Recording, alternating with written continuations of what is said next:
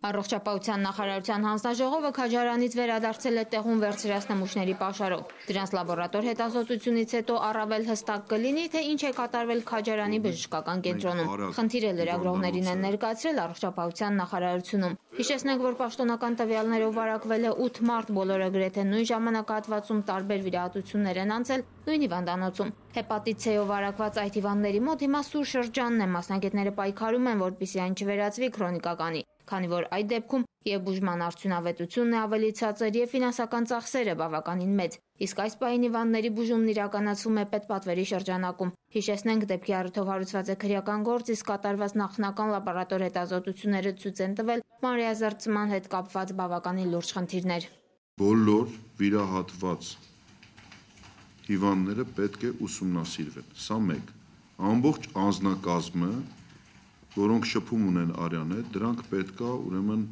ենթարկվեն հետազոտությունների արյան առումով, որպեսզի մենք տեսնենք ուժ անձնակազմի մեջ հիվանդներ կան թե չկան 6 ամիսը մեկ արյան հետ շփվող ուժ անձնակազմները պետք է հետազոտվեն տարբեր վարակների առումով իհարկե ասեմ որ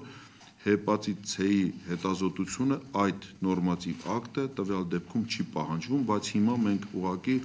հանձնարարությունով այս ամբողջ մարզի տարածքի բուժ հիմնարկներում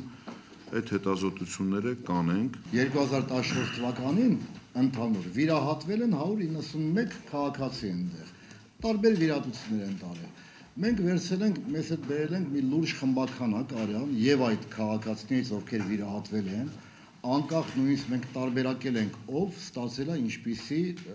ցավազրկում ընդհանուր նարկոզ թե տեղական դա էլ է մեզ համար շատ կարևոր որոշ հարցեր կա ճշտելու եւ վերցել ենք նաեւ բուժ անձնակազմից նախարարության հանձնարարությամբ այն աշխատակիցներից ովքեր գործ ունեն արյան կամ բժշկական վիրաբուժական գործիքների հետ նաեւ նաեւ նրանց արուն ենք բերել